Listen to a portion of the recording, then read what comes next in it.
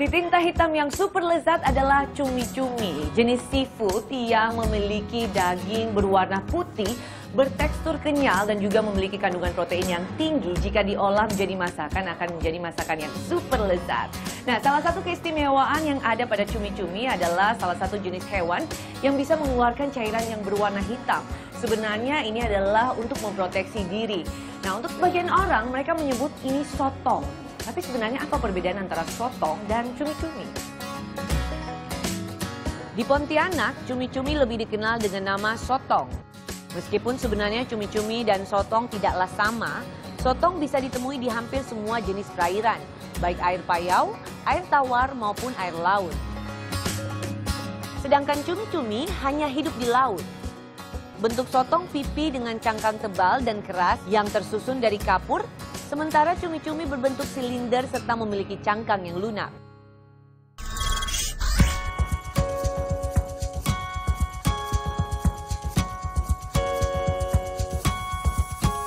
Sotong maupun cumi-cumi sama-sama menghasilkan cairan yang berwarna hitam yang bisa menambah kelezatan dari sebuah makanan.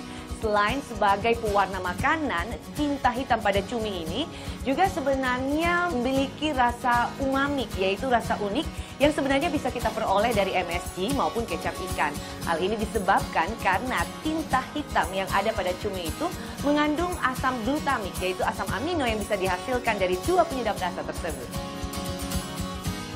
Masakan yang paling banyak menggunakan tinta cumi adalah masakan Mediterania seperti Yunani, Italia, dan Spanyol.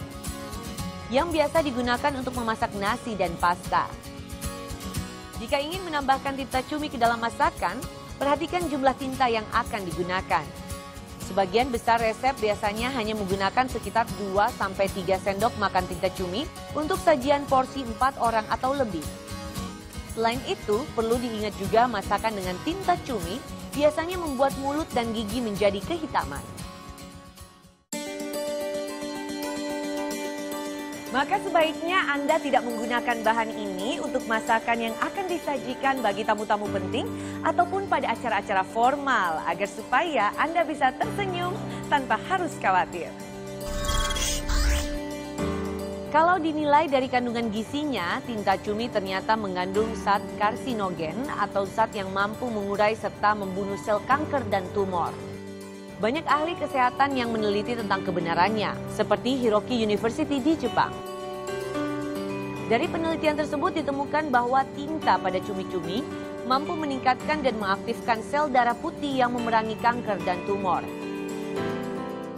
Sementara studi lain yang dilakukan Cells New menyatakan bahwa tinta cumi-cumi bersifat anti-agiogenik yang mampu mencegah pertumbuhan sel tumor.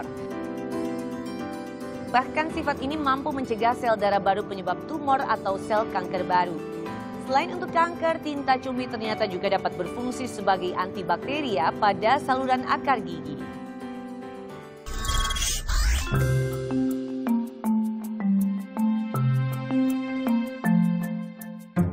Di balik manfaat dari tinta cumi yang berwarna hitam itu ternyata masih ada mitos yang beredar di mana wanita hamil dilarang keras mengkonsumsi cumi-cumi dengan tinta yang berwarna hitam tersebut. Karena pada saat anak itu akan dilahirkan, ia akan memiliki kulit yang berbecak hitam seperti tinta cumi. Sebenarnya mitos ini tidak beralasan karena sebenarnya tinta cumi tidak memiliki dampak negatif bagi kesehatan. Tapi untuk lebih jelasnya mari kita tanya ahli gizi apakah benar ibu hamil tidak bisa mengkonsumsi cumi cumi yang bertinta hitam lezat itu ataukah bisa?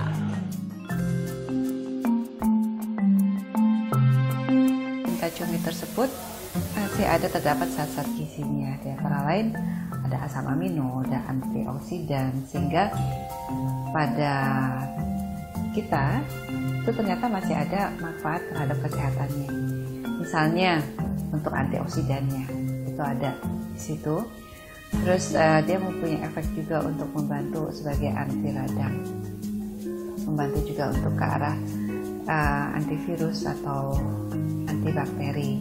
Nah, apakah untuk ibu hamil itu aman atau tidak? Sepanjang ini saya belum membaca apakah oke okay untuk ibu hamil, tapi menurut saya kalau ibu hamil tersebut tidak alergi terhadap seafood, uh, ditambah makanan yang dia konsumsi itu adalah matang, harusnya uh, tidak apa-apa untuk mengkonsumsi makanan yang diberikan tinta hitam tersebut.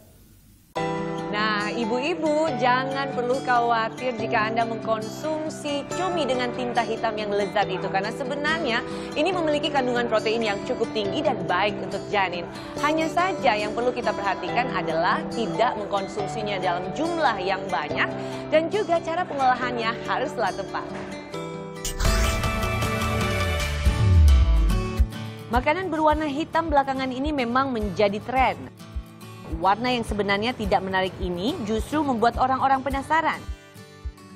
Seperti apa rasa dari makanan terkesan mengerikan ini? Arang bambu menjadi salah satu bahan yang biasa digunakan untuk menghasilkan warna hitam tersebut. Bambu karkoal atau arang bambu bukanlah arang yang biasa kita kenal sebagai sisa dari pembakaran. Melainkan zat karbon dari arang yang sudah melalui proses pemurnian sehingga tidak mengandung zat kimia lain. Dalam dunia medis, zat arang aktif umumnya digunakan untuk mengatasi gangguan pada sistem pencernaan, baik keracunan makanan atau overdosis obat-obatan. Zat arang aktif bekerja dengan cara menyerap seluruh zat pada sistem pencernaan.